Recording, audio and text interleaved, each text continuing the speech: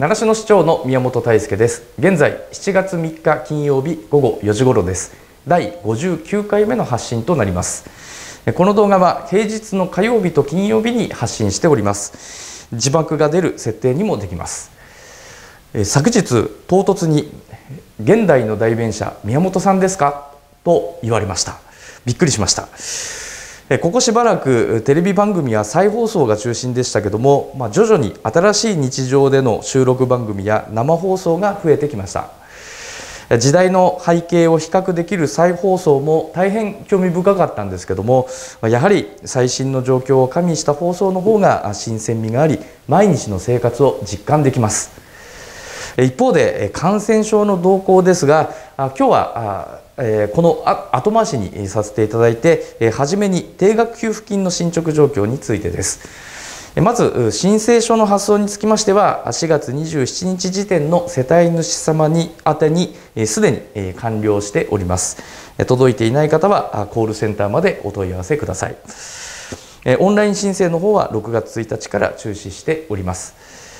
記載された申請書の市役所への到達状況につきましては8万1094世帯対象世帯中7万6727世帯分。未申請が4367まで減ってきました。そして送金処理が終了した世帯数は7万5271世帯。98%申請に対して98%の処理が完了しております。対象世帯数からと比較しても93%ということになります。で振込この送金処理が終わった中で振込の状況なんですけども昨日までに6万4361世帯分の振込が終わっております。79%が終わっております。でこの後7月7日に8520 9日に2001世帯。そして14日に434まあ、見ていただくと分かるように、まあ、急激に減ってきております。これはすなわち、まあ、受け申請に対しての事務が、まあ、追いついているという状況でありまして、えー、残り4367世帯の皆さんも、まあ、今からならあの最大1か月というふうに言っておりますけれども、えー、かなり短くあの短い期間の中で振り込みまで、えー、終わる見込みで、ございます。ぜひ申請していただければというふうに思います。なお、えコールセンターにあのお電話いただく際にですね、えー、どうかあの私の振り込み私の金額の振り込みはいつかというお問い合わせにはちょっとまだあの応じかねますので、え今後のところはご理解をいただきたく思います。え続きまして今日は2本立てです。感染拡大注意というお話と第70回社会を明るくする運動についてのお知らせです。お知らせですえー、感染拡大注意についてのお知らせは、えー、まず、えー、習志野市内の感染状況からお話しいたしますけども、えー、習志野市内在住の新規感染者についてはゼロということで、えー、皆様にご協力いただいております。でその中でですね千葉県の状況そして東京都の状況を見ますとこの3日間で急激に増えています、えー、千葉県につきましては6月30日が7人おとといが7人そして昨日が11人この3日間で25人も増えました。さらに東京都につきましては6月30日に54人。でこれでびっくりしてたらおととい67人。でさらにびっくりしてたら昨日100人を超えてしまいました。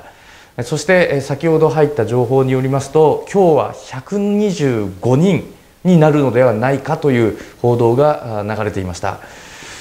この部分を1週間平均10万人あたりの1週間平均で見ますと千葉県が0.54東京都が3に迫る2.85ということで急激に伸びております。まあ、そういう中で改めまして、えー、急遽感染拡大予防について、えー、お知らせをしたいということです。えー、まず1番目として、えー、基本をしっかり、えー、徹底しましょうということです。で、えー、マスク、えー、手洗いということなんですけどもあのこのマスクという部分につきましては今熱中症の心配がありますでマスクの意味は僕2つあると思っていてまずあの名詞としてのこのマスクを装着するというマスク。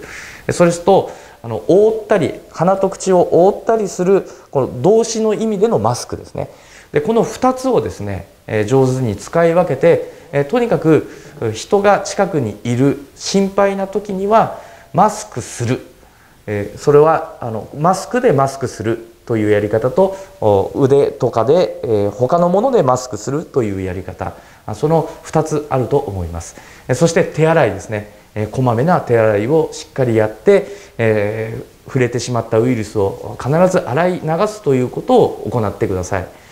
で私はあのもうずっと感染対策本部長として、えー、こうこの間見てまいりましたけど、まあ、私は専門家ではないんですがその首長として感覚としてですねあのこの基本をしっかりやっていればほぼほぼ大丈夫なんじゃないかなというふうに思っています。でじゃあ大丈夫じゃない、えー、ケースというのは何かというとこの2点目警戒心が緩んだ時っていうふうに思っています。でその警戒心を緩めないということについて特に注意しなければいけないというふうに思っているのがやはり、えー、宴会そして大人数での会食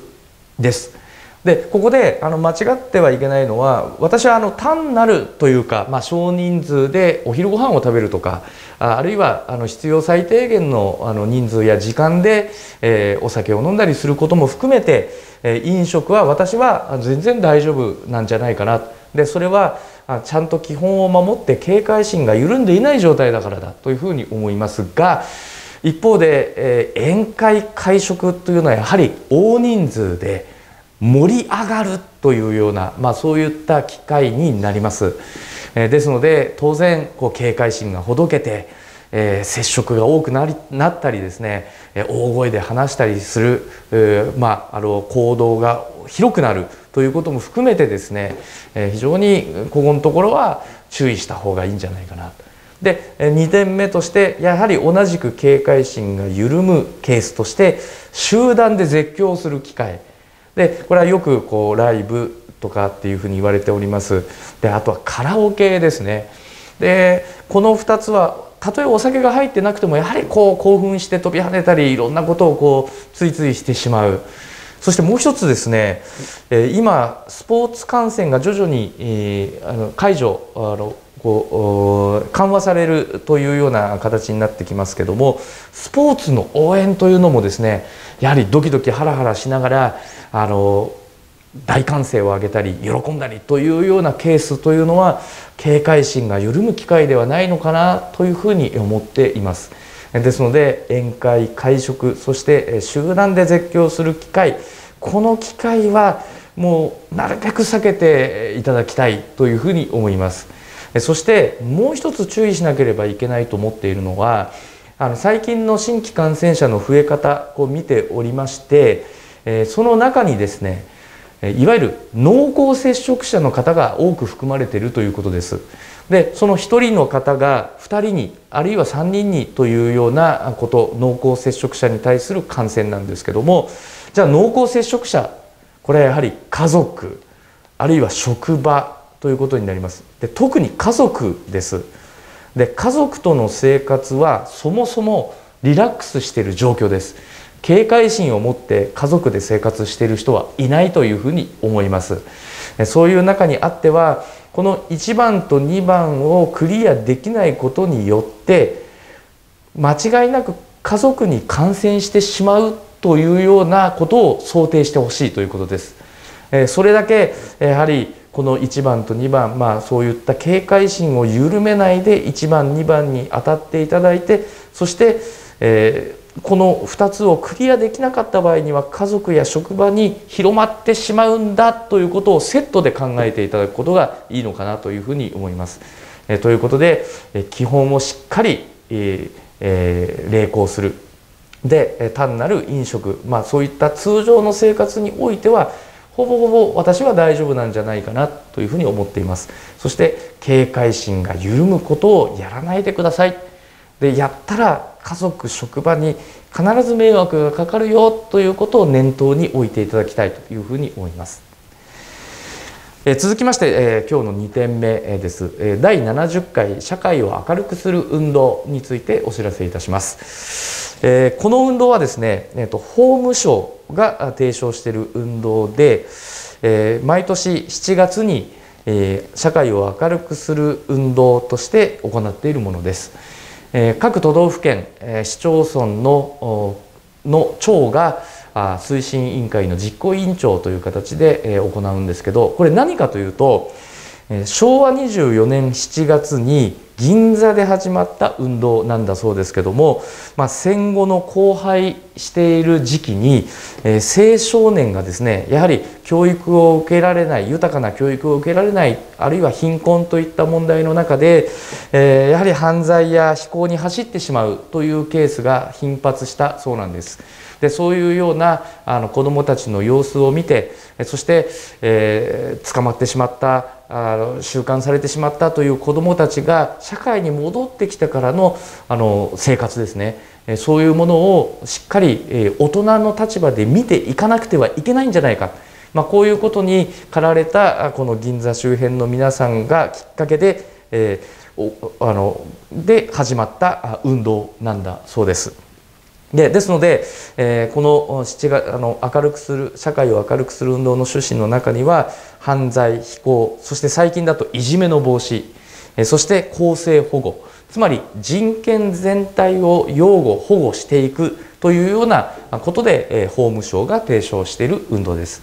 でこの時にはですね、えー、最近習志野市では、えー、今年は7月8日なんですけどもあの7月8日にですね